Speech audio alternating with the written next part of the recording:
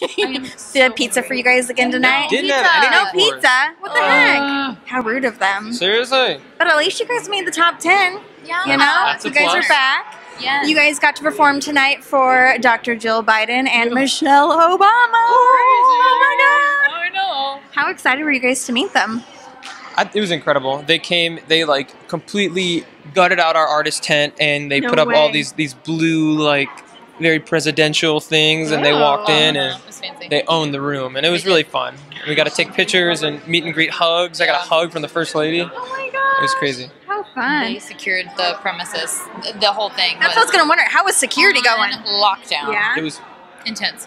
It was crazy. Oh my gosh. Were you guys nervous to get out there and perform? Or are you just like, oh, whatever, I'm just going to go out and perform? It was fun to perform with the entire group. I think that took all the nerves Oh, away yeah. because you you were kind of all the support of your, your brothers and sisters, and you were singing for the first lady. If it was just me singing like that song for the first lady while she stood on stage, yeah.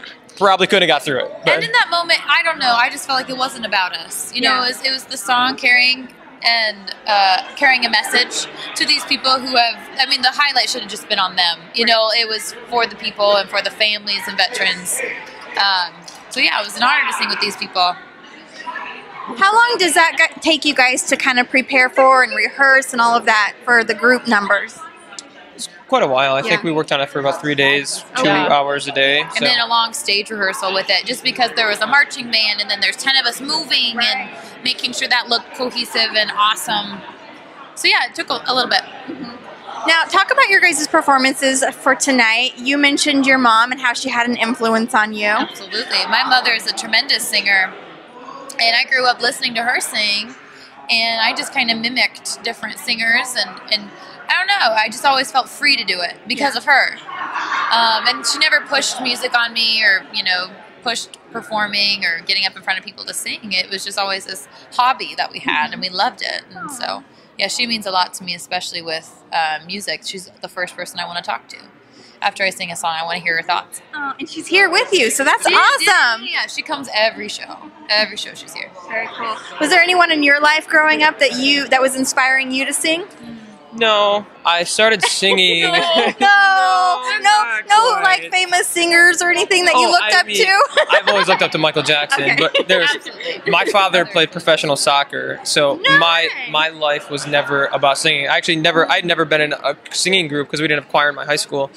We had no singing at all in my high school Hmm. until I was in college. So I've singing been only singing for the last three years, and uh, It's it's been pretty fun. That's cool. Yeah. Crazy. Very fun. So we're gonna find out what you guys think about your other top ten members. So- Hate them. I hate everyone that's not on Team oh, Pharrell. Uh-oh. Just kidding. I love them all. Okay, so I'm gonna tell you guys something, and you have to tell me who that person is. Okay. Easy. Yeah, Easy. not- we're on. Okay. Who is the messiest out of all of you guys? Adam Wakefield.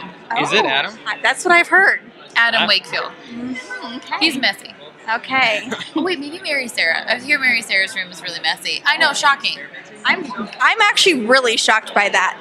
I think those those are my two guys. I think everybody's clean. Okay. He's gonna play it Except safe. for Hannah. She's the messiest. Oh, Just no, kidding. no, no. Oh. teacher here, organization. yeah, exactly. You know. Organize everything. You label. You sanitize. Yeah. Oh yeah. That's I love it. Who is the funniest? Daniel. Daniel is very funny. I would also say I'm just kidding. me. Oh, okay. Uh, see, I know. I got him. Yeah. Uh huh. All right, Hannah's the funniest. A little. Yeah. All right.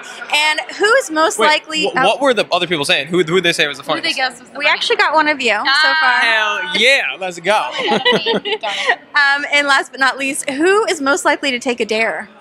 Take a dare, Bryan, That's what I heard. because Nick. Bryan Bryan Oh, thinks he's Nick. Bryan thinks Nick he's the coolest. Yeah, he hears me over there. We're talking about you. We're talking about you. Get over here, boy. All right, guys. Congratulations Thank on you so making top ten, and good luck tomorrow night. Thank you so Thank much. you.